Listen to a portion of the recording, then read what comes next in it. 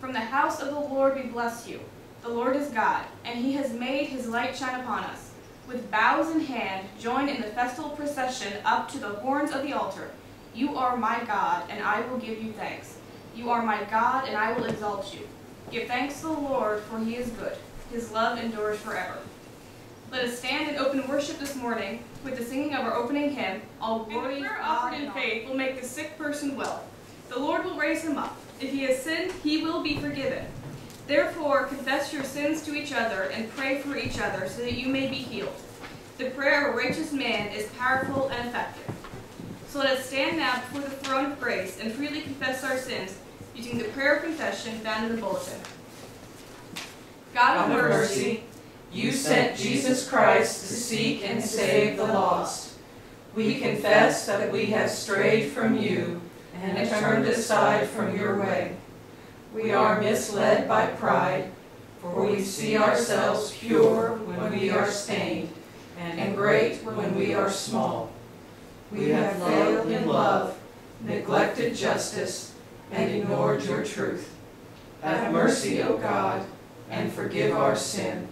Return us to paths of righteousness through Jesus Christ our Savior. Amen. Have you ever been fortunate enough to have that magic moment when the crowd goes wild for you? That clutch hit in baseball, making the winning touchdown, playing or singing a solo perfectly, bringing a crowd first to tears and then to its feet. It's a pretty spectacular feeling, coming to the culmination of a moment, a career, or even a lifetime. I don't know if there are any Red Sox fans in the room, but it was Gary Carter, who was well known for never uttering an offensive word, who said with two outs in the bottom of the ninth of Game 6, I'm sorry, Steve Winslow, but of the uh, bottom of the ninth of the 1986 World Series with the Mets facing a spectacular fail by losing the World Series after a spectacular season, I'm not making the last darn out of the World Series. And he didn't. He started a rally that turned around a game, a team, millions of fans, and eventually turned the series from one of bitter disappointment into unimagined. Have you ever had one of those weeks? Boss or bosses after you, deadlines looming, twice as much work as hours? We're going forth, you have no idea how you're going to get through it. It happened, I happen to have one of those weeks just this week. 60 hours and still not everything accomplished. I spent some scarce time I had this week during my lunch at my desk on Monday, touring the ancient part of the old city of Jerusalem. What a truly amazing place. The ancient, narrow, winding roads, brick walls lining both sides of the narrow, dusty streets, nary a tree in sight. I literally have no idea how people found their way around. And that comes from someone who learned to drive in Brooklyn. I had the advantage of taking my, uh, my trip uh, with a click of a mouse on my computer, courtesy to the amazing uh, application known as uh, Google's Window or Google's Maps. I can go, with a click of a mouse, I can go anywhere around the world. All I can say is I'm glad when they passed my house, the lawn happened to be mowed and the garbage cans were put away. Not always the case, I'm afraid.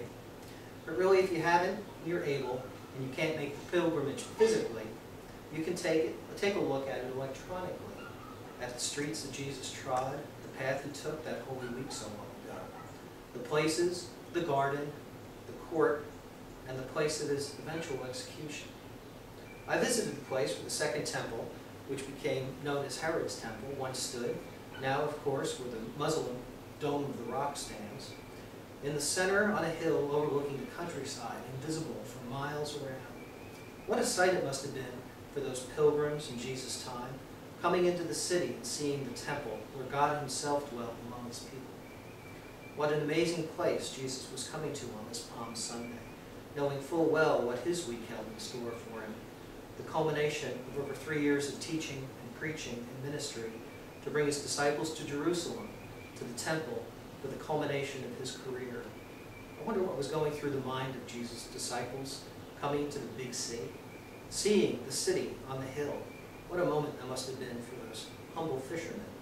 What kind of lives were they living where they could expect to be brought to the center of the known universe with their teacher, that he may teach and preach in the temple there, the center of all Judaism?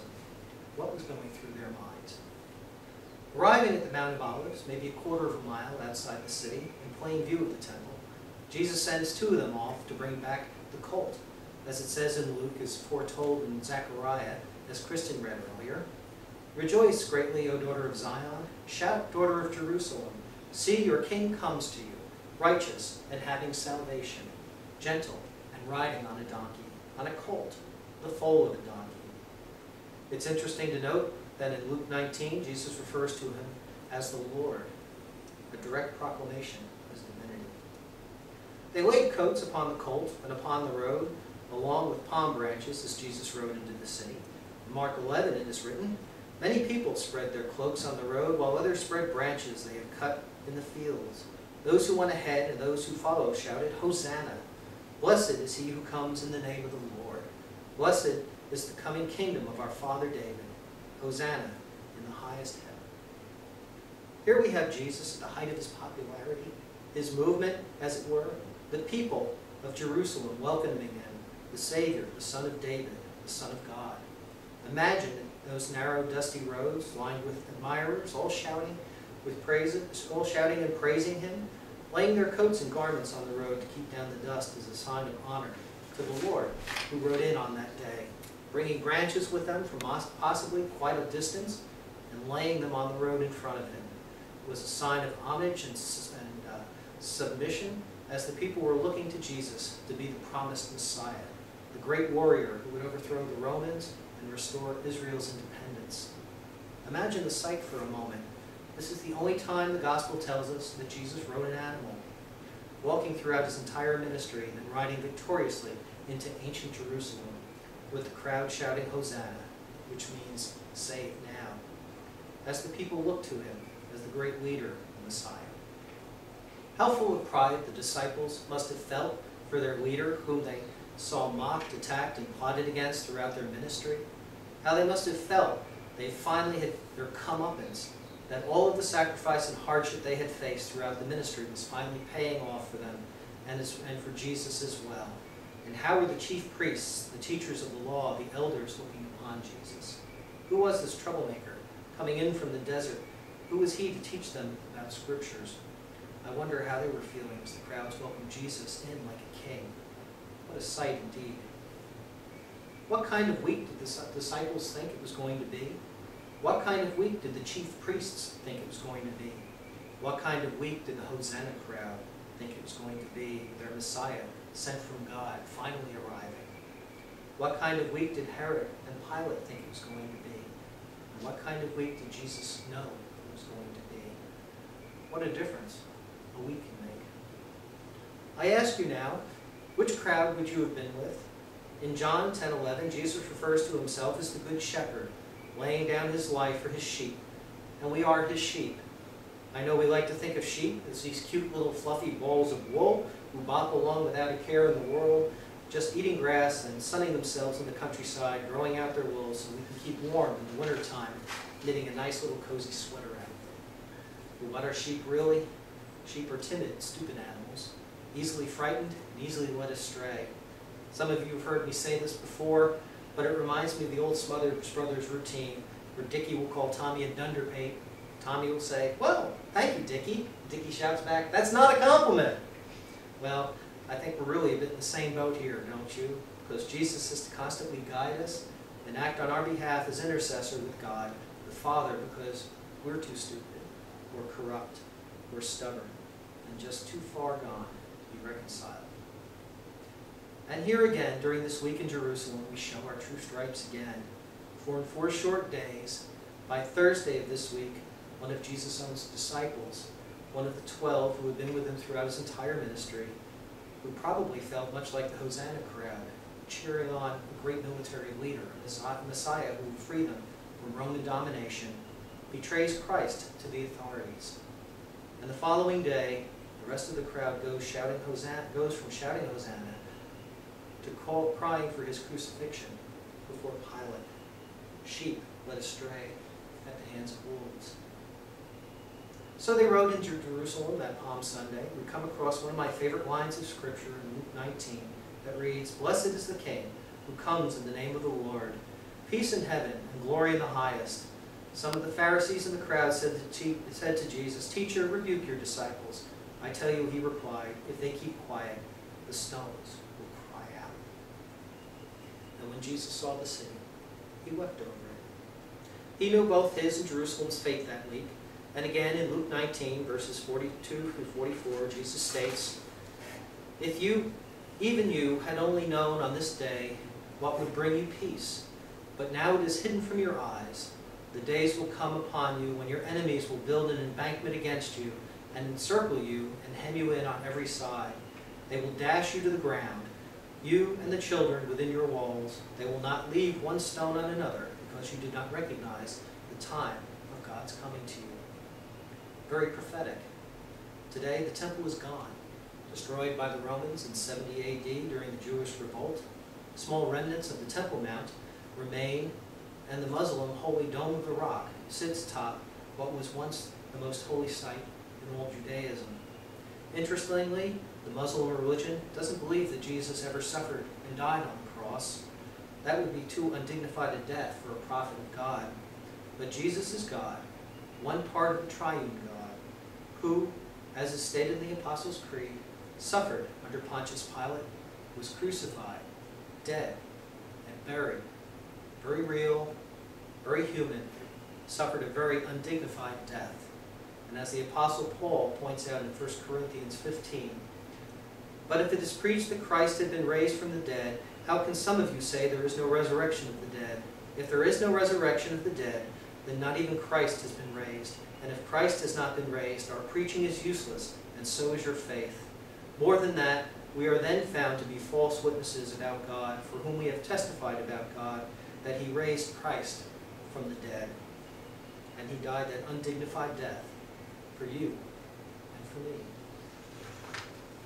So the crowd is there cheering on Jesus. The pilgrims who made the journey to Jerusalem for the Passover celebration, who had heard of Jesus and the miracles he had performed, believing that he may be the Messiah the prophets had spoken about.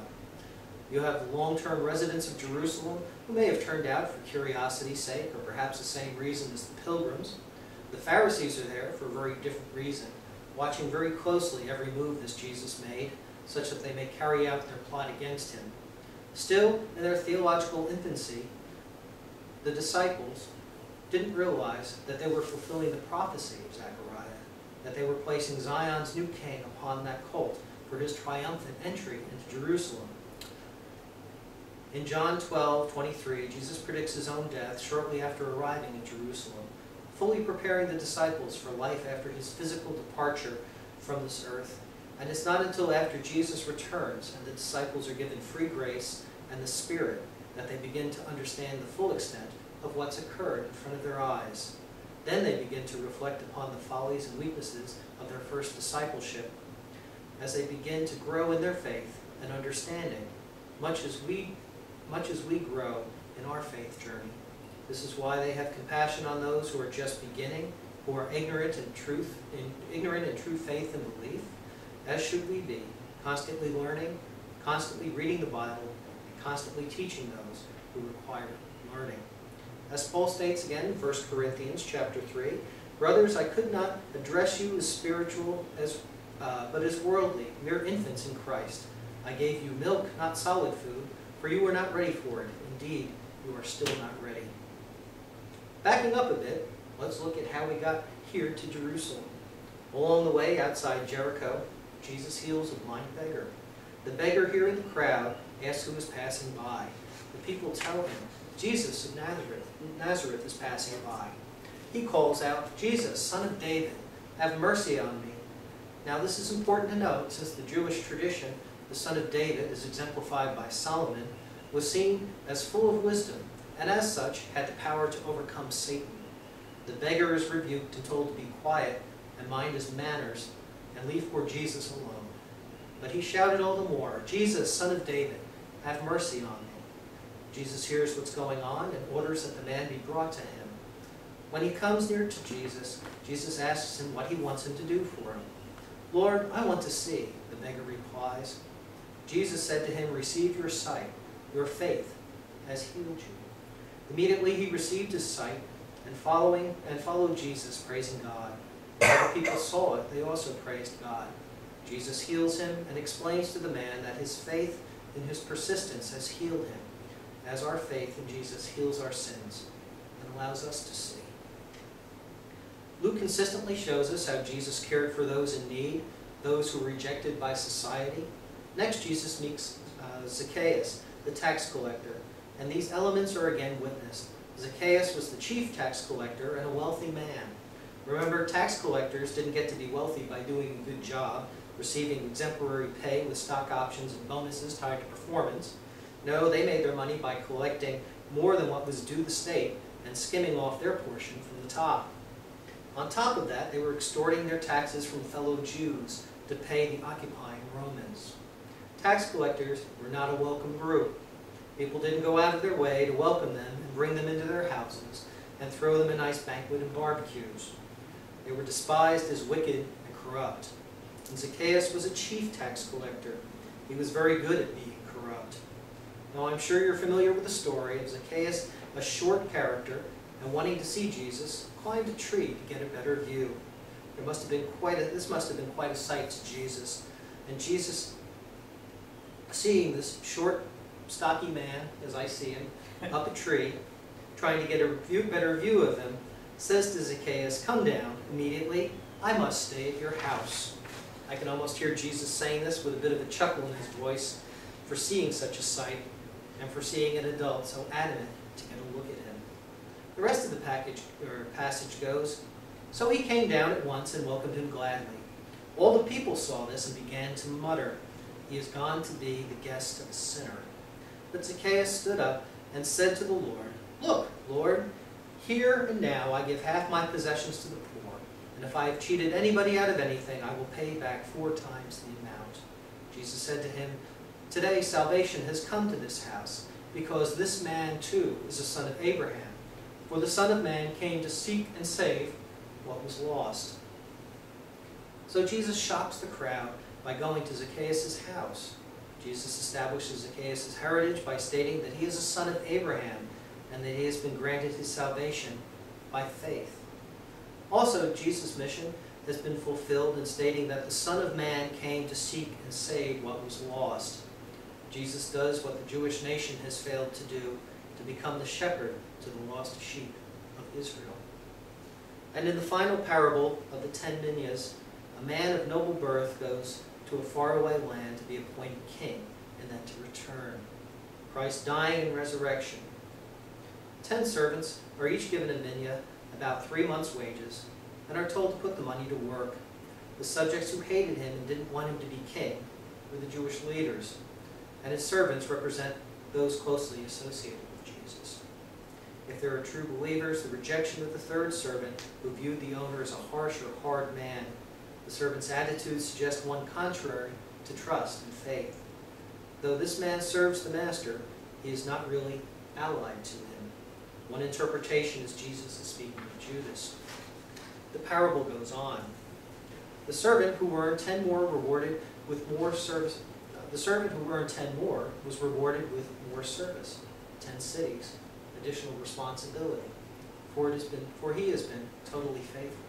The second service reaped five more and is rewarded with five cities. Where the third servant has done nothing with his money, does not think the king is worth laboring for, because he would probably just rob him anyway. This servant ends up with nothing and is called wicked by Jesus. If the servant knew he was a hard man, he could have at least put it on deposit and reap some interest on it. Failure to use one's gifts will result in judgment. The final group to be dealt with was the, were the rejectors, the Jewish leaders who did not want Jesus to be named king. Their rejection is total. They will be slain. In the short term, it may refer to the destruction of Jerusalem in AD 70, or in the long term, the judgment of a God they have rejected. Jesus then weeps for Jerusalem. Jesus has been established as the son of David, the shepherd of the lost sheep, and the king whom his subjects reject, and his servants serve both faithfully and poorly. The stage is now set. So on that Palm Sunday, so many years ago, in which group would you find yourself? When the cheering subsides and turns to taunts and then to threats and calls for crucifixion, when the cheering supporters shouting Hosanna turn to the mob, shouting, Crucify him, where would you be? I'd like to say I'd be among those who supported Jesus to the end, worshiping him at the cross.